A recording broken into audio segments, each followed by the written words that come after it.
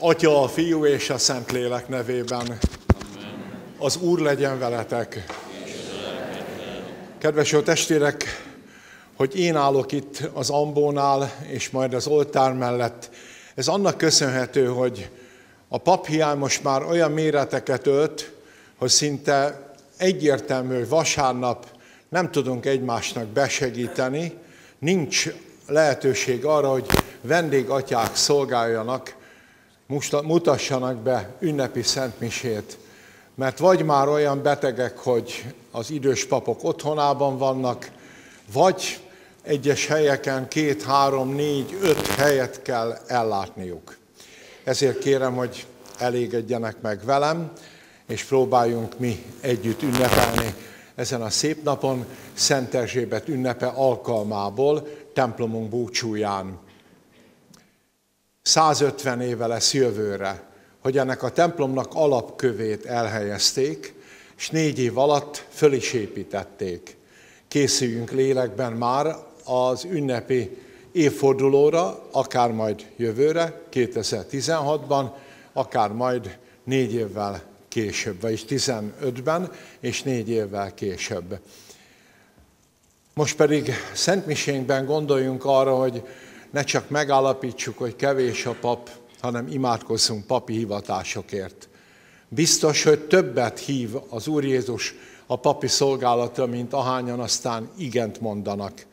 Ezért kell, hogy imádságos háttérrel próbáljuk buzdítani azokat a fiatalokat, akikben talán motoszkál is a papi hivatás elképzelése, de nem könnyű ma kimondani egy döntő szót, az igent erre a hívásra. Ugyancsak megemlítem már most a Szent Mise elején, hogy Szent Erzsébet a szeretet nagy szentje, a karitásznak, a szeretet szolgálatnak is védőszentje. Ezért a mai napon a persei adományjal az egyházmegye és az egész ország szeretet szolgálatát tudjuk segíteni. Örüljünk annak, hogy egyházközségünkben is nagyon szépen működik a karitász, a szeretet szolgálat. Ezt az ünnepi szentmisét Lados Józsefért évfordulója kapcsán, valamint Kovács János és Kovács Julianna és gyermekeik lelkiüdvét mutatjuk be.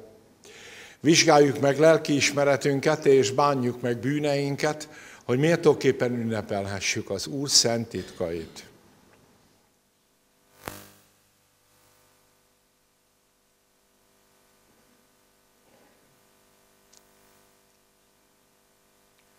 Jónom a mindenható Istennek, és nektek testvéreim, hogy sokszor és sokat védkeztem, gondolattal, szóval, cselekedettel és mulasztással. Én védkem, én védkem, én igen nagy védkem. Kérem ezért a boldogságos, mindenkor szeplőtelen Szűz Máriát, az összes angyalokat és szenteket, és titeket, testvéreim, hogy imádkozzatok érettem Urunkhoz, Istenünkhöz. Irgalmazzon nekünk a mindenható Isten, bocsássa meg bűneinket, és vezessen el az örök életre.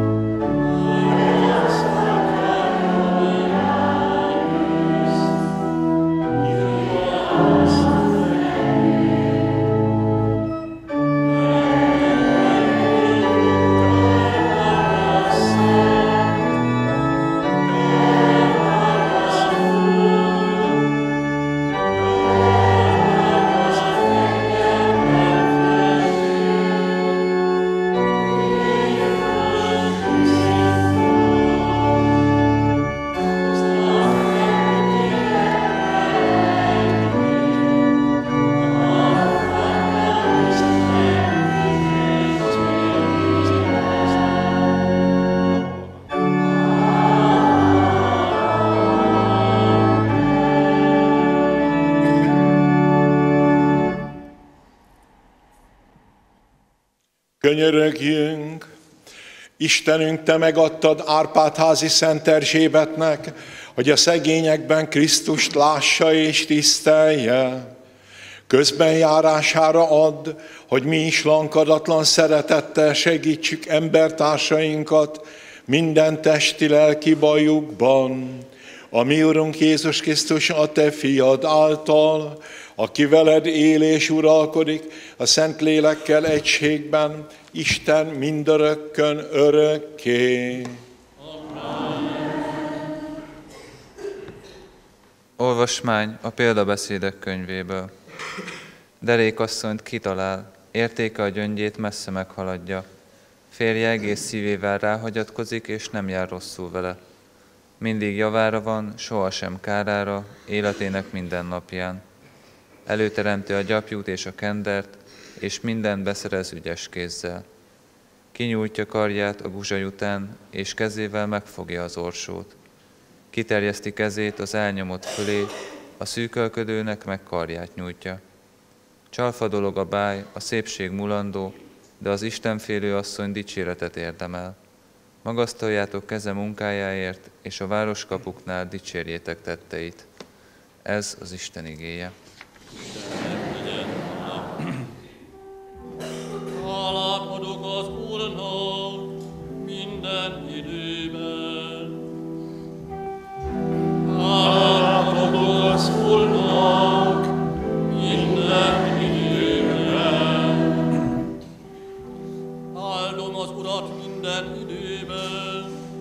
Dicséretét szüntelenül zengi ajkal.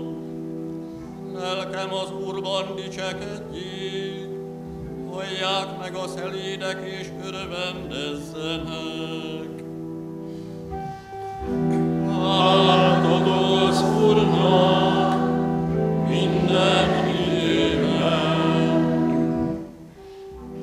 Magasztaljátok az Urat velem együtt, nagyszerűnek hirdessük az ő nevét minnyáján.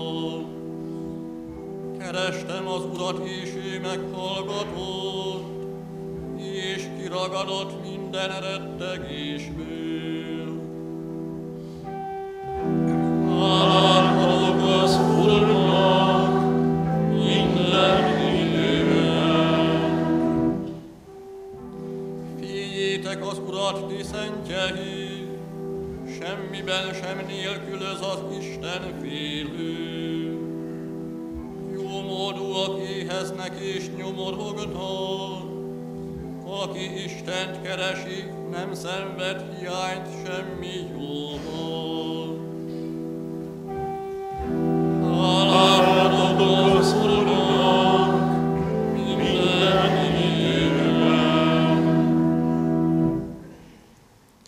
Szent Lecke Szent, János, Szent János Apostol első leveléből. Szeretteim, tudjuk, hogy a lelki halálból új életre keltünk, mert szeretjük testvéreinket. Akiben nincs szeretet, az a lelki halálban marad. Aki pedig gyűlöli testvérét, az gyilkos. Viszont tudjátok, hogy egyetlen gyilkosnak sem lehet része az örök boldogságban. Abból ismerjük meg Isten szeretetét, hogy életét adta érettünk. Nekünk is életünket kell adnunk testvéreinkért. De megvan-e bennünk az Isten szeretete, ha azt látjuk, hogy valamelyik testvérünk szükséget szenved, és elzárjuk előle szívünket, pedig módunkban állna, hogy segítsünk rajta. Szeretteim, ne csak szóval és beszéddel szeressünk, hanem tettel és igazsággal. Ez az Isten igéje. Az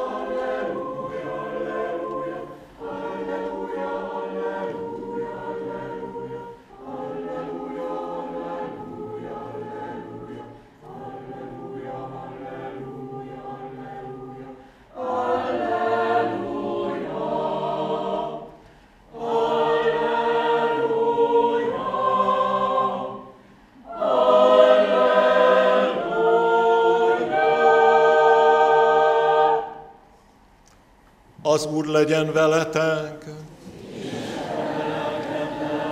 Evangélium Szent Lukács könyvéből.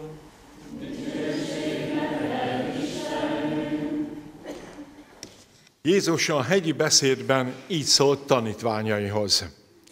Nektek, akik hallgattok engem, ezt mondom, szeressétek ellenségeiteket, tegyetek jót azokkal, akik gyűlölnek titeket. Azokra, akik átkoznak titeket, mondjatok áldást, és imádkozzatok rágalmazóitokért. Ha arcul üt valaki, tartsd oda a másik arcodat is. Annak, aki elveszik köntösödet, adod a ruhádat is. Mindenkinek, aki kér tőled, adj, és aki elviszi, ami a tied, attól ne kérd vissza. Úgy bánjatok az emberekkel, ahogy szeretnétek, hogy veletek is bánjanak. Mert ha csak azokat szeretitek, akik titeket is szeretnek, milyen jutalmat várhattok érte Istentől? Hisz a bűnösök is szeretik azokat, akik őket szeretik. Ha csak azokkal tesztek jót, akik veletek is jót tesznek, milyen jutalmat érdemeltek, hisz ezt a bűnösök is megteszik. Ha csak a visszafizetés reményében adtok kölcsönt, milyen hálára számíthattok? A bűnösök is kölcsönöznek a bűnösöknek, hogy ugyanannyit kapjanak vissza.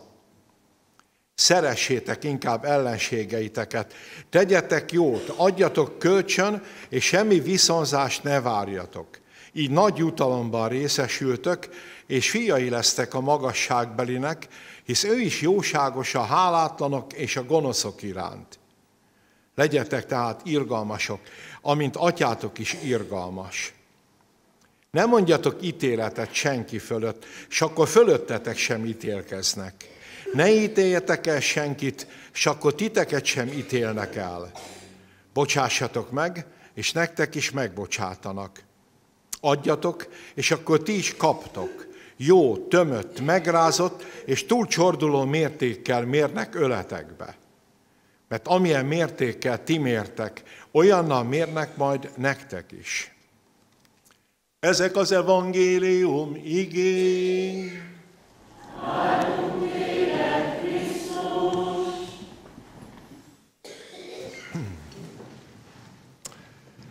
Kedves jó testvérek, 150 évvel ezelőtt, pontosabban 149, mert ahogy már a bevezetőben említettem, jövőre lesz ennek a templomnak nagy jubileuma, alapkő szentelésének 150. évfordulója. Szóval, mint egy másfél évszázaddal ezelőtt úgy döntöttek azok, akik akkor éltek itt ezen a tájon, hogy templomunk és egyházközségünk védőszentje egy magyar szent legyen, második András királyunk lánya, Árpádházi Szent Erzsébet. Kedves jó testvérek, nincs összehasonlítási lehetőségünk, mert remélhetőleg minnyáján már olyan természetesnek vesszük, hogy ő a védőszentünk, akinek aztán képét egy művész meg is festette, hogy főoltár képként egész Szent Mise alatt mindig, ha itt vagyunk a templomban rátekintsünk, hogy el se tudjuk képzelni, hogy vajon milyen is az, amikor valakinek teszem föl a szűzanya, a védőszentje, vagy mondjuk egy jeles szerzetesrend alapító, vagy egy vértanú, netán éppen valamelyik apostol, vagy ugye előfordul, hogy egy-egy templom úgymond titulusa Jézus életének valamely állomása, akár születése, akár kereszthalála, vagy éppen a Szentlélek eljövetele. Szóval nincs összehasonlítási alapunk, lehetőségünk, de azt mondom, nem is kell. Örüljünk annak, hogy ilyen színesek a mi templomaink, és itt most nem egy templom gyönyörű díszítésére akarok ezzel utalni, hanem összességében a például édes hazánkban, Magyarországon föllelhető templomok. Hogy az előbb említettek, és még azon kívül ki tudja hány és hány szent tisztelete honosodott meg az ország különböző helyein, akár a megcsonkított ország területén, akár valamikor a Nagy Magyarország különböző részein.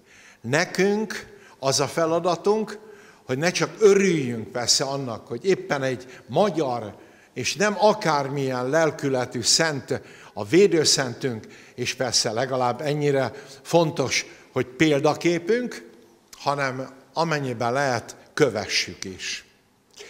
Hogyan lehet követnünk Szent Erzsébetet? Ez gondolom évről évre itt Kartalon fölvetődő kérdés, mert legyen akár egy vendégpap, vagy akár a helyi plébános, ha Szent Erzsébetről kell, hogy szóljon, teszem fel a templom búcsúja alkalmából, akkor valami ötlettel kell, hogy előrukkoljon, na ebben és ebben hasonlíthatnál, hasonlíthatnánk Szent Erzsébethez. Most rögtön azt mondom, ahogy a templomban elkezdődő Szent Mise első gondolataiban már megemlítettem, hogy éppen a karitász, a szeretett szolgálat számára gyűjtünk ezen a vasárnapon mindenhol, nem csak a Szent Erzsébetes templomokban, így a legkézenfekvőbb azt mondani, ebben kell nekünk óriási példát látnunk Szent Erzsébet alakjában, hogy igen, ha csak lehet, támogassuk azokat, akik nálunk is szegényebbek.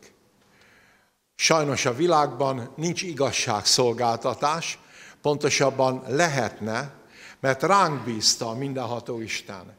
Nem föntről jön az igazságszolgáltatás, hogy neked egy kicsit több van, mint amennyi kellene, hát elveszek tőled, te pedig nem tudsz terített asztal mellé ülni esetleg hónapok vagy évek óta, hát neked megterítem az asztalt. Szabad akaratunkkal lehet valahogy kiegyensúlyoznunk ezt a diszharmóniát, ezt az igazságtalan helyzetet, ami egész földünkön uralkodik, de legyünk őszinték sajnos, hazánk határain belül is. Mint egy 7 milliárdnyi ember él a Földön, és ebből 800 millió, tehát közel 1 milliárd, magyarul minden nyolcadik személy éhezik.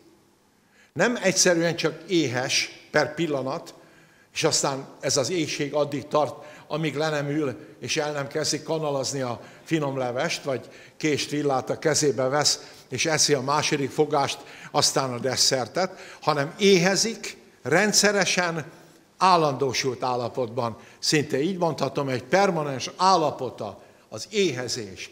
Közel egy milliárdnyi embernek a Földön.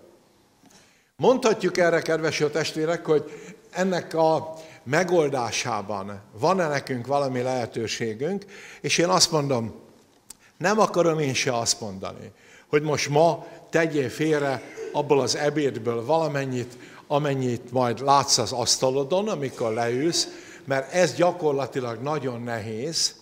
Egy valami azonban nem olyan nehéz, de sajnos ezt sem tudjuk megtenni, vagy legalábbis nem teljes szívvel, teljes lélekkel igyekszünk megtenni. És ez nem más, mint azok mögé felsorakozni, akik tudnának a Földön, az egész földgolyónkon igazságot szolgáltatni az embereknek. Azok a kompetens személyek, államfők és különböző tehetős emberek, akik ők maguk valóban intézkedhetnének és adakozhatnának, azok mögé felsorakozni, összekulcsolni a kezünket, és imádkozni értük.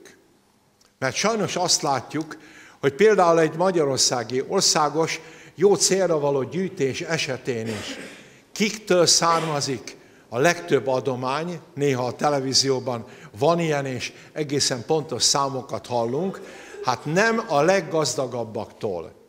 Mondhatnánk, hogy talán ők úgy adakoznak, hogy nem tudunk róla, mert nem hozzák nyilvánosságra.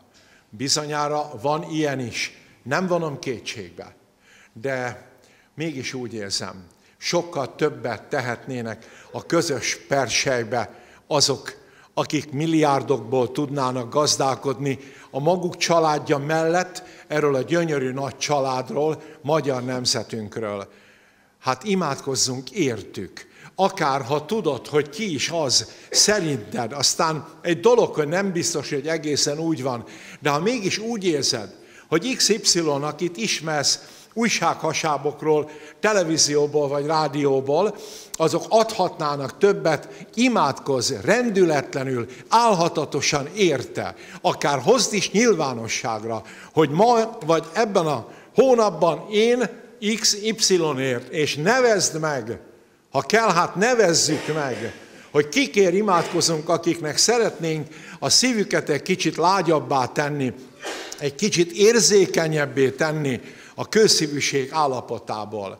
És akkor talán nem csak az imádság, bár mondom, a legtöbbet talán azt tesz, aki imádkozik azért, hogy ő mérsékelt gazdagsággal, jóléttel is megelégedjen, és ugyanakkor mindenkinek kerüljön tányérjába, asztalára az, amire szüksége van, sőt, ugye nem csak élelemre, hanem emberhez méltó körülményekhez szükséges dolgokra, imádkozni, de tevőleges szeretettel, ha csak lehet rávenni embertársunkat, jó példát mutatva a saját adományunkkal is, most pici dolog, de mégis azt mondom, akár ennek a mai vasárnapnak a persely adományával. Fölhívni a figyelmet arra, hogy hála Istennek, a Caritas, a katolikus anyaszentegyház szolgáló szeretetével élő szeretet szolgálat többet tesz sok más különböző elképzeléssel gyűjtögető embernél, mert először is biztos, hogy amit a persejbe teszünk, amit föladunk a csekken Vácra, a püspökségre, aztán ők tovább küldik, jó helyre kerül. És nem valakinek a zsebébe, nem valakinek a támogatására, aki nem, hogy támogatásra nem szorul, de legjobban kellene, hogy adakozzon. Erre föl kell, hogy hívjuk a világ figyelmét. De van egy érdekes mondása I. és Gyulának, kicsit költői, és ez nem véletlen egy ilyen személytől, aki azt mondta a magyar nemzetünkre vonatkozóan, hogy völgyek és a napsütés gyúrt itt egybe egy népet, és gyúrná ma is. Milyen érdekes kifejezés és mondat. Völgyek és napsütés. Egy picit próbáljuk ezt az allegóriát megfejteni. Mit is ért ez alatt, mert én hiszem, hogy éppen védőszentünket, Árpátázi Szent Erzsébet is idézőjelbe téve, ahogy szoktuk mondani, völgyek és napsütés tett olyanná, amilyenné lett, hogy nem véletlenül halála után szinte azonnal szenté avatott személyként kezdték őt tisztelni, és a mai napig is például a szeretett szolgálat élén őt látjuk, mint példaképet. Mi az, hogy völgyek? Hát kedves testvérek, Sáros patakon vagy egy pici százalékban van esély rá, hogy mondhatjuk, lehet, hogy Pozsonyban született. Itt is, ott is, hegyek, völgyek, amik körül ölelték azt a helyet, ahol ő meglátta a napvilágot. De én mégsem a földrajzi tájat, a tengerszint fölötti magasságot akarom hangsúlyozni ezzel, vagy ezt fölhozni magyarázatként, hogy miért lett ilyen, hanem azt, hogy ő szerette azt a völgyet, szerette azt a dombot, szerette azokat a hegyeket, magyarul szerette hazáját, a földet. A földnek most jelen esetben jóval kisebb területére vonatkozhat ez a gondolat, mint második Andrásunk korában, a 13. században, de ezt a 93 ezer négyzetkilométert is, kedves jó testvérek, szeretnünk kell. Ahhoz, hogy az itt lakó embertársamat szeretni tudjam, ahhoz észre kell vennem, az köt össze bennünket, hogy egy adott területre, őseink által elfoglalt területre érkeztek meg az ő ősei is, és az én és a ti őseitek is, ezért összeköt bennünket a haza. Egy nemzet öntudata csak akkor alakulhat ki, ha ezt komolyan vesszük. Magyar keresztények, vagy a sorrend mindegy, keresztény magyarok kell, hogy legyünk. Ez az első lépcsőfok arra, hogy meglássuk a másik emberben az igazi testvért. Hiába próbálunk mi ugyanis, mint ahogy próbáltuk évtizedekkel ezelőtt, segíteni, támogatni a tőlünk több ezer kilométerre élő embertársainkat, ha azok bajba voltak. Ha nem mutattunk, nem mutatunk példát annak, akinek talán éppen egy cunami, egy földrengés, vagy egy háború okoz most súlyos fájdalmakat, akkor hiába próbálunk anyagiakkal segítségére lenni, nem lesz béke. Nem lesz béke semmit sem ott, Nem akarok megnevezni egyetlen területét sem földünknek, ahol most például éppen természeti katasztrófák eh, zúdultak az ott lakókra, vagy háborúkkal ölik egymást. Úgy kell, hogy tudjanak ránk nézni azok, akikért imádkozunk, és akiket támogatunk, mint igazán példát mutató nemzetre. És előbb-utóbb, kedves jó testvérek, sőt, már most érezzük, hogy hiába hivatkozik például egy magyar arra, hogy mi védtük meg Európát, hogy ekkor és ekkor a történelem színpadán mi voltunk más nemzetek megmentői. És most? Most milyen életet él a magyar itt a Dunatisza, Drávaszáva tájékán? Vajon most mi önmagunkat egyáltalán meg tudjuk védeni? Nem beszélve arról, hogy védelemre szorulna, legalább példamutatásunknak eredményeként a körülöttünk élő nemzetek egész sora. Tehát igenis magunkat kell helyre tennünk, nekünk kell a másik magyarban először igazi testvért látni, és nem ellenséget, de még csak ellenfelet sem. Bár csak ilyenkor megnyílnának csodálatos módon egy templom falai, és ezek a gondolatok eljutnának mindenkihez, azokhoz is, akik tehát sok mindenben, majdnem mindenben ellenkező véleményen vannak, vagy más véleményen vannak, mint mi, és mégis szeretni akarjuk őket, mégis példát akarunk mutatni nekik, hogy ő és én, ők és mi együtt tudjunk aztán boldogulni, és másokat is boldoggá tenni.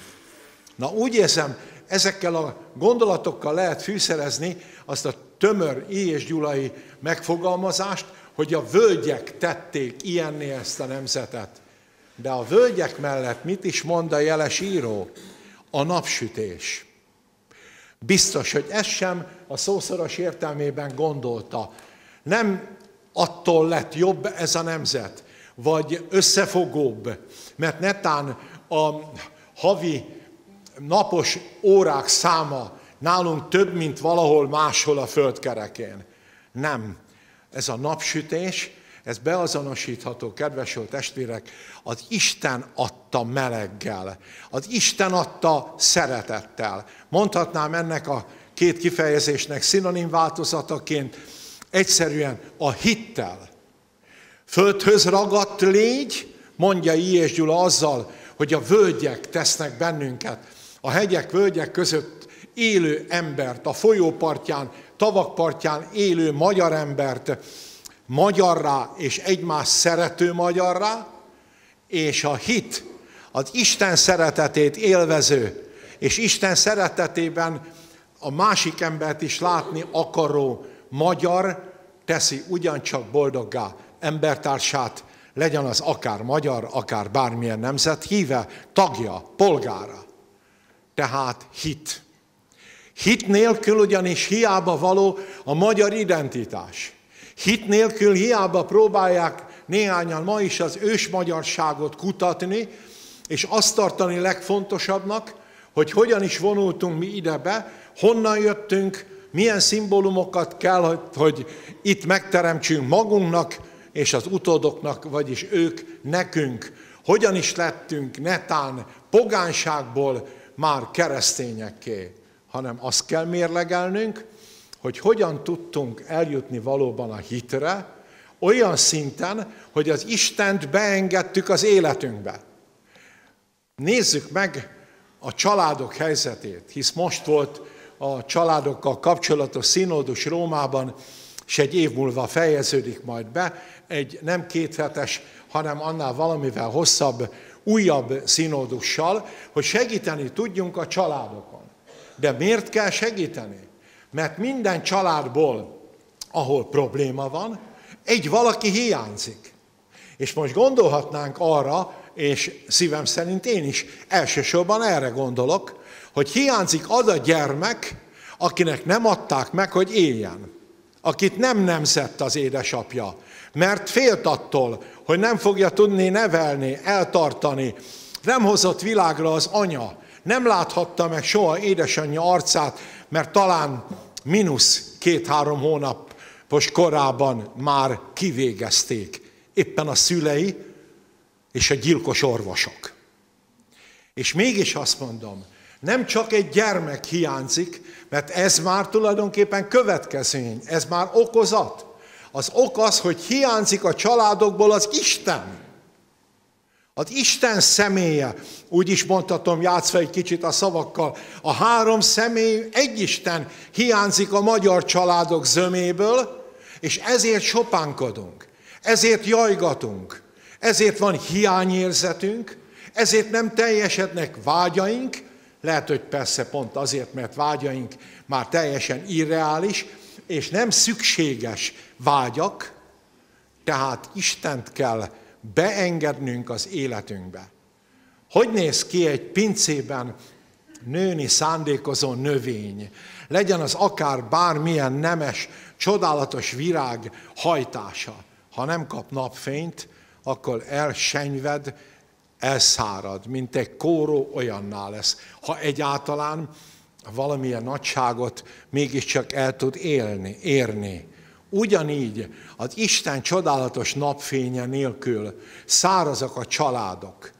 Száraz a meddő anya és az impotens férfi, vagy aki szellemileg, lelkileg önmagát azzá teszi, mert a maga kényelme kedvéért nem ad életet másnak.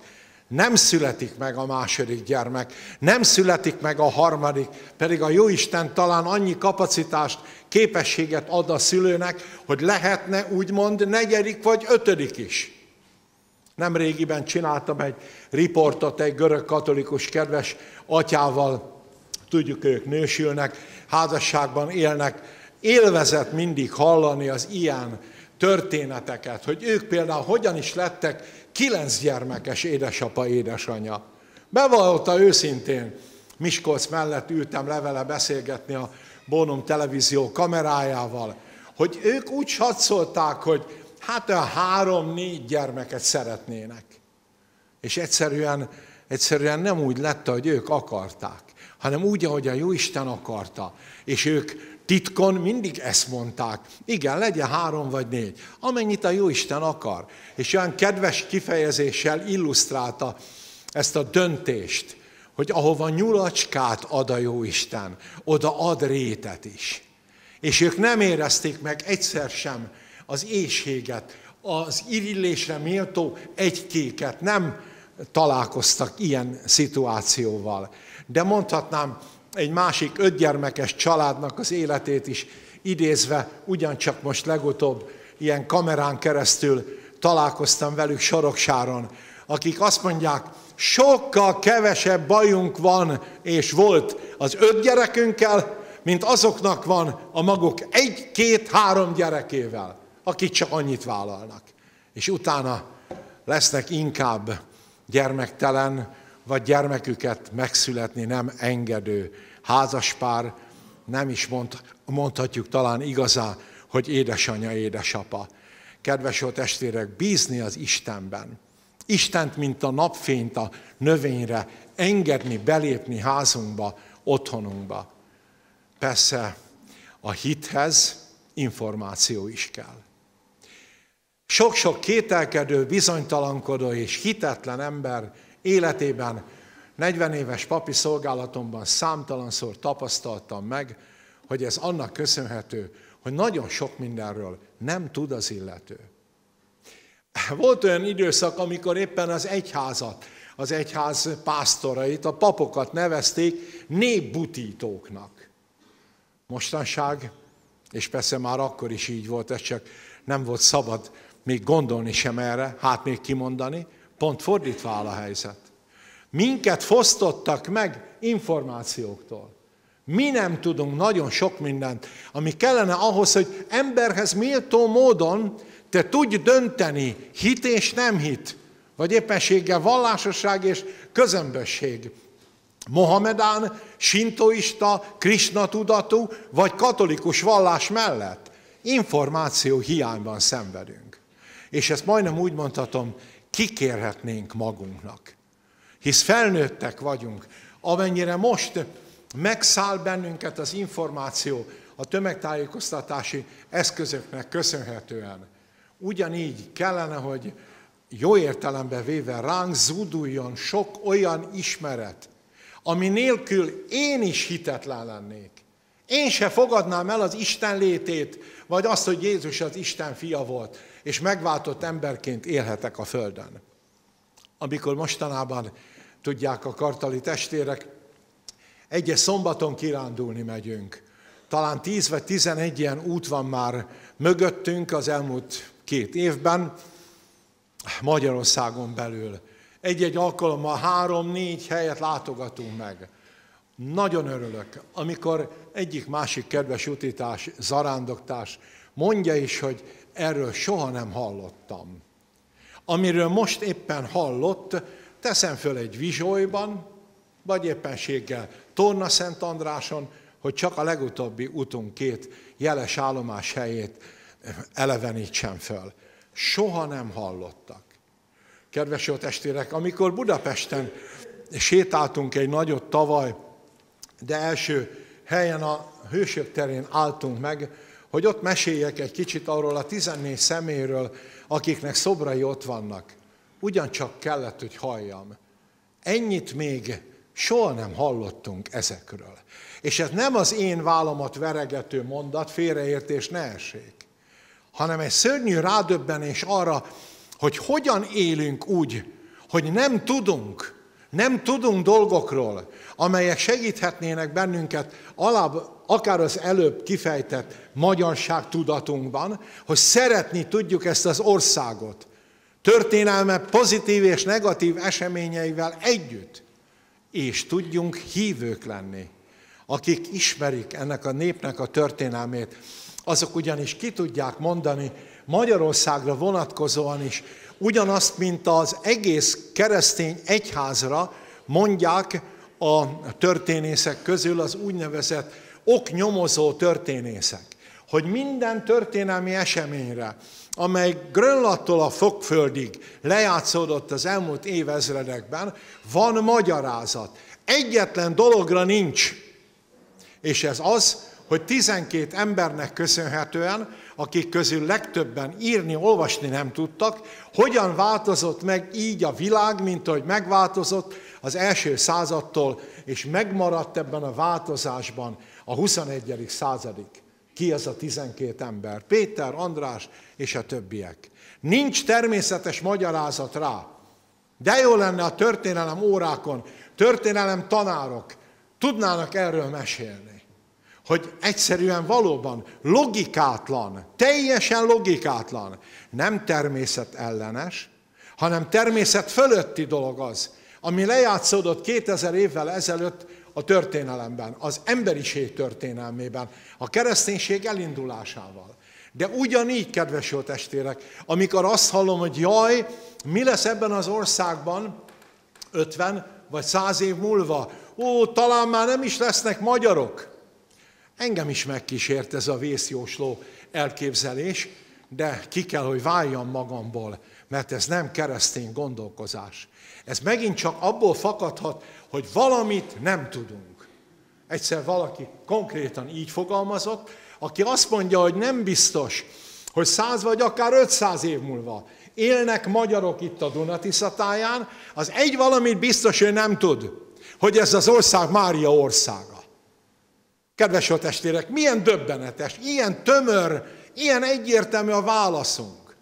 Ahogy Péter apostolnak azt mondta Jézus, ott fönn a Jordán folyó születésénél, hogy te Péter vagy, azaz kőszikla, erre a sziklára építem egyházamat, és a pokol kapui nem vesznek erőt rajta, és ezért biztosra vehetjük, hogy Anya Szent Egyházunk helyenként lehet, hogy időnként kicsit gyengülni látszik, de megmarad az idők végtelenségeig, mert sziklára épült, nem arra a kafarnomi halászmesterre, akinek Simon volt a neve, aztán Péter lett belőle, hanem a Szentlélek által elindítva arra az alapra, amelynek látható szemcséi voltak az apostolok, Péter és a többiek. Ugyanígy, kedves testvérek, mi vár a magyarokra? Boldogság, öröm, kiteljesülés. Páter Pio atya pontosan erről beszélt egy pár évtizeddel ezelőtt, hogy valami csodálatos látomásában ez a szent életű kapucinus olasz szerzetes azt látta, hogy szinte Magyarország lesz egész Európa lelki centruma, lelki középpontja. De hasonló módon, bár véletlenül sem akarok ezeknél a gondolatoknál hosszabban időzni, a dalai láma megérkezik Tibetből, megérkezik keletről, kiszáll a repülőgépből, és azonnal fölviteti magát a Pilishegyre, dobogókőre. Mert azt mondja az egész világnak, ott van valami csodálatos geológiai, de azzal párosoló, párosoló lelki centruma, középpontja. Magyarország lesz a világ lelki vezére. Ez akkor is beteljesedik, ha te nem járulsz hozzá. Ha te továbbra is káromkodsz, ha te továbbra is újra és újra elvász és kötsz újabb házasságokat, vagy ész vadházasságba házasság előtt, akkor is. Csak akkor te magad boldogtalan leszel. Mert lehet, hogy még az is elképzelhető, hogy égi édesanyánk behúz téged a mennyországba, holott alig érdemled meg, de ott egy kis lelkiismeret furdalásod lesz hogy nem te tettél, vagy te nem eleget azért, hogy így legyen. Hogy valóban Magyarország más nemzetek védelmére és példájára legyen. Ehhez kell az információ, a sok mindenről hallás, sok minden igazán fontos dologról való beszélgetés, nem fölösleges dolgokról, nem mások hibáiról való plegykálkodás természetesen, és ennek eredményeként a hitből fakadó, szeretetben megnyilvánuló kereszténység, vallás. Kedves jó testvérek, úgy menjünk haza, hogy tudjuk, hogy az Isten adta a kezünkbe a lehetőséget. Mi már megváltott emberekként, és megváltott magyar katolikus keresztényekként élhetünk itt a Földön. Ez egy óriási dolog. Talán emlékezünk rá néhány évtizeddel ezelőtt, volt egy modern táncdal, nem tudom ki a szerzője a szövegének, de nagyon elkapott annak idején, mai napig is néha-néha eszembe jut. Valahogy így szólt, azért dudolom inkább, és nem csak mondom, mert talán úgy könnyebben tudom fölidézni. Van még ki rossz kedvűen ébred, van még ki holtvágányon áll, van még ki gátlásoktól szenved, van még ki megváltásra vár. Hát ez a baj. Ne várj a megváltásra. Ne állj a holtvágányon. Indulj el. Szent Erzsébet segíteni fog. Te csak határozd el, de határozottan, hogy keresztény, katolikus magyar akarsz lenni. Gyermekeid és azok gyermekeinek a, az életét akarod szebbé, teljesebbé tenni, azzal, ha kell, áldozattal, szeretettel, másokat boldogítani akarással, amely a te dolgod. Amit lehet, meg kell tenni, és csak a többit, de a többit mindenképpen rábízni az Istenre. Amen. Hiszek egy Istenben, mindenható atyában, mennek és földnek teremtőjében, és a Jézus Krisztusban, az ő egyszülött fiában, ami Urunkban, aki fogantatott Szentlélektől, született Szűz Máriától, szenvedett Poncius Pilátus alatt, megfeszítették, meghalt és eltemették. Föltámadt a halottak közül, fölment a mennybe, ott ül a mindenható Atya Isten jobbján, onnan jön el ítélni élőket és holtakat. Hiszek szent katolikus anya szent egyházat, a szentek közösségét, a bűnök bocsánatát.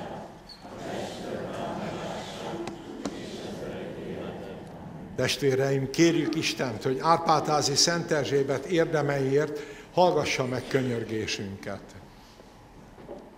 Hogy az egyház mindig és mindenütt hirdesse és gyakorolja Szent Erzsébet önfeláldozó ember szeretetét.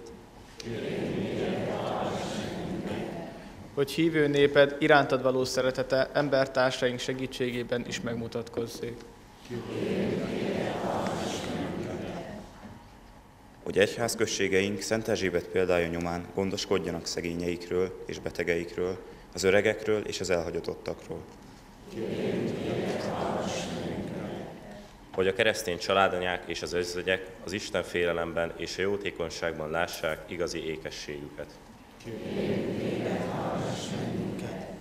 Hogy az irgalmasság gyakorlásával elhunyt szeretteink lelkén is segítsünk. Mindenható atyánk, te Szent Erzsébet példáján megmutattad, hogy aki önfeláldozóan segíti embertársait, az könnyebben viseli a saját keresztjét. Segíts minket is, hogy tevékenyen szeressük a rászorulókat, és ebből vigasztalást és erőt merítsünk. Egykor pedig elnyerjük az örök boldogságot testvéreinkkel együtt, akikért szentmisénket bemutatjuk Krisztus, ami Úrunk által. Ne felejtsük el az adományokat.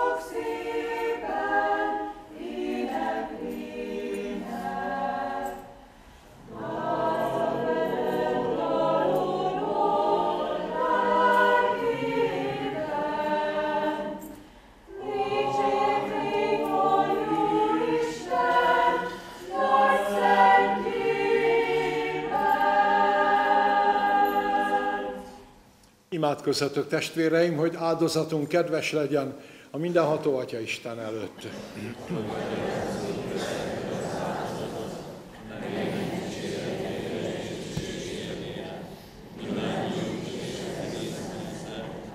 Fogadd el néped adományait, Istenünk, és add meg nekünk, hogy míg fiad végtelen szeretetének áldozatát megjelenítjük, szentjeit példája nyomán megerősödjünk az ő szeretetében és a felebaráti szeretetben, Krisztus, ami Úrunk által. Amen. Az Úr legyen veletek, És emeljük föl szívünket. Adjunk hálát Urunknak, Istenünknek. méltó és igazságos, Valóban méltó és igazságos, illő és üdvös, hogy mindig és mindenütt hálát adjunk neked, mi Urunk, szentséges Atyánk, mindenható örök Isten, Krisztus, ami Urunk által. Mert szentjeinek példás élete által az Anya Szent Egyházat újra meg újra csodás termékenységgel áldod meg, és így bizonságot teszel arról, hogy mennyire szeretsz és pártolsz minket, s hogy üdvösségünk szent titka valóra váljék bennünk, a szentek nagyszerű példája sarkal minket, de imádsággal is közben járnak értünk, jóságodat mindenkor kérve. Ezért, Urunk, az angyalokkal és a szentekkel együtt magasztalunk téged, és újjongva zengjük.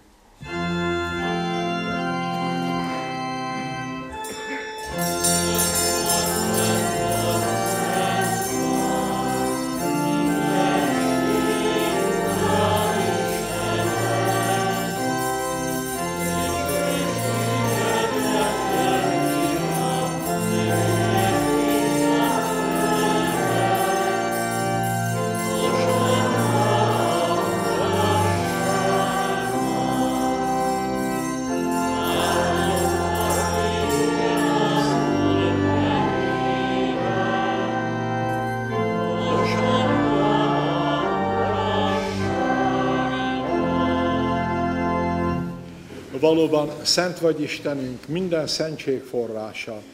Kérünk, szenteld meg ezt az adományt, árazd le rá szent lelkedet, hogy számunkra, ami Urunk Jézus Krisztus teste és vére legyen. Ő mielőtt önként átadta magát a szenvedésre, kezébe vette a kenyeret, hálát adott, megtörte, tanítványainak adta, és így szólt. Vegyétek és egyetek ebből minnyájan, mert ez az én testem, mely értetek adatik.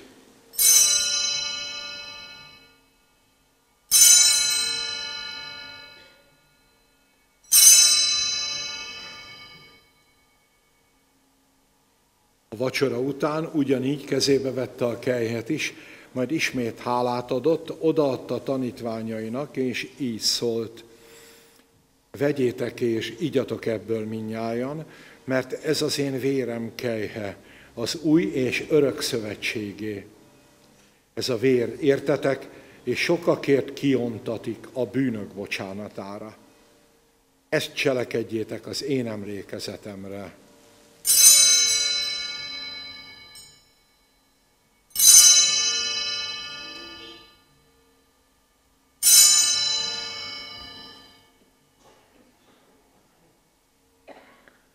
Íme hitünk szent titka.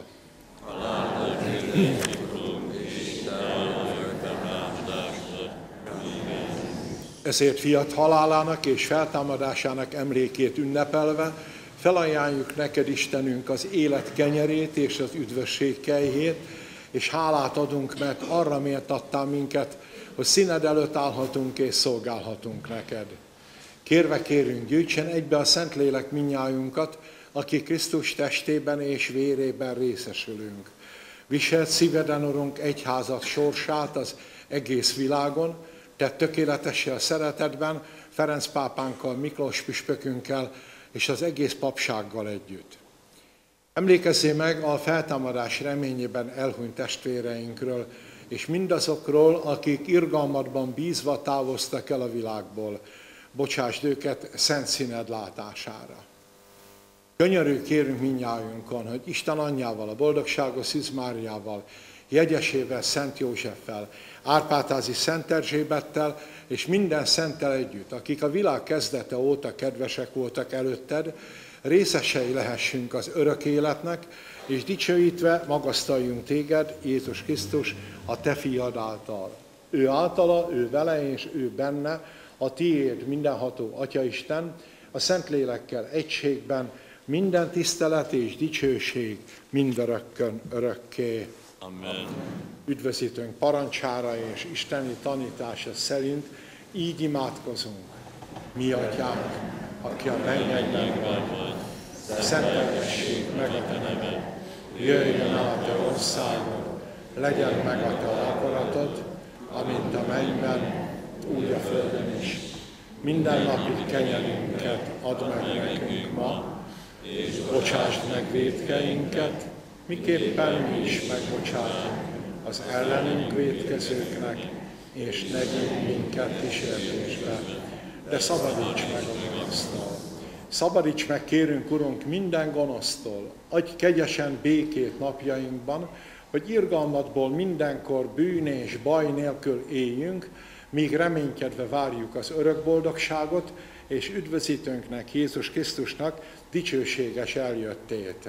Mert én az ország, a hatalom és a dicsőség Urunk Jézus Krisztus, Te azt mondottad apostolaidnak, békességet hagyok rátok, az én békémet adom nektek.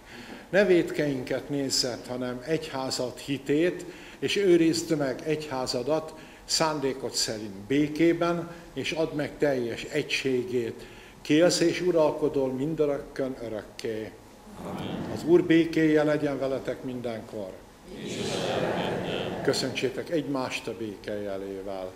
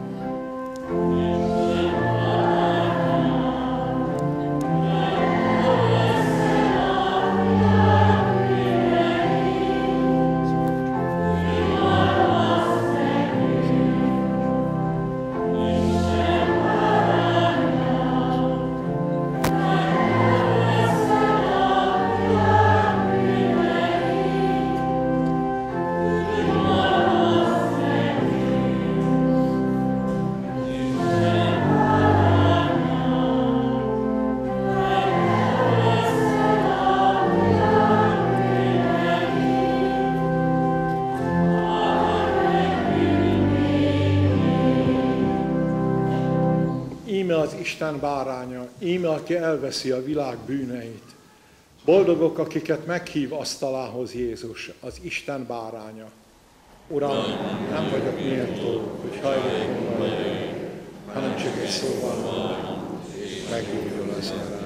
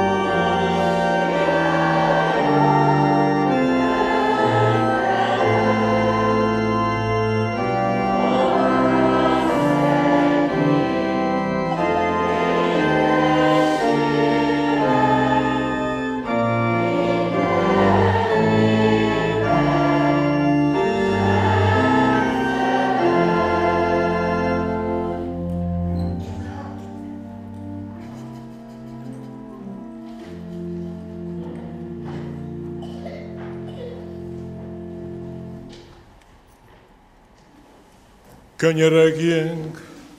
Üdvösség szerző szentségeddel tápláltál minket, Istenünk.